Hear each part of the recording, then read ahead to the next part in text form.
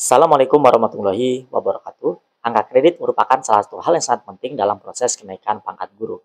Pada video saya sebelumnya, saya telah membahas cara mengupload pak integrasi dan mendapatkan pak konversi tahun 2023.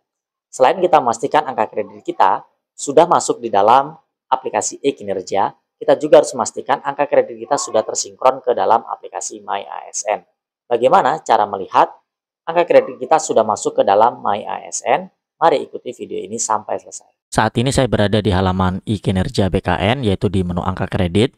Setelah kita mengupload pak integrasi kita dan juga kita telah mengkonversi pak kita dari SKP tahun 2023 dan setelah disetujui oleh kepala sekolah, maka di sini akan ada menu berhasil sinkronisasi si ASN dan juga di pak konversi juga berhasil sinkronisasi si ASN.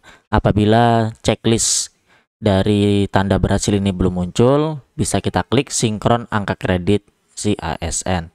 Nah, angka kredit yang sudah berasal dari e-kinerja ini, baik dari pak integrasi maupun pak konversi, ini harus masuk ke dalam My ASN.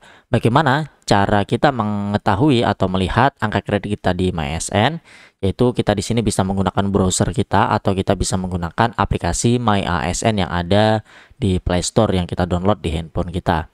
Saya akan mencoba masuk dari browser ini dan kita ketikkan saja myasn.bkn.go.id. Maka langkah selanjutnya kita di sini diminta login menggunakan akun si ASN kita. Kita klik login dan di menu update data inilah kita akan mengecek angka kredit kita tadi sudah masuk atau belum. Kita klik lihat semua. Nah, di sini kita akan menemukan menu riwayat angka kredit kita akan melihat membandingkan angka kredit ini sudah sesuai dengan yang ada di dalam e-kinerja BKN. Dan di menu ini juga kita bisa melihat, nah yang atas ini dari pak integrasi dan yang di bawah ini dari konversi pak dari SKP tahun 2023. Nah, ketika di sini kita klik, maka kita akan bisa melihat detail yang lebih lengkap angka-angka kredit kita dan kita juga di sini bisa melakukan download maupun melihat pak kita di menu My ASN ini. Kita klik lihat, maka hasilnya adalah seperti ini. Nah, jadi angka kredit kita harus sinkron antara yang di e-kinerja dan juga di My ASN. Di e-kinerja ini gunanya untuk mengupload pak integrasi dan juga mengkonversi pak dari setiap tahunnya mengikuti aturan terbaru angka kredit saat ini. Dan di MySN di sinilah rekapan semua data kita termasuk salah satunya yaitu data tentang angka kredit.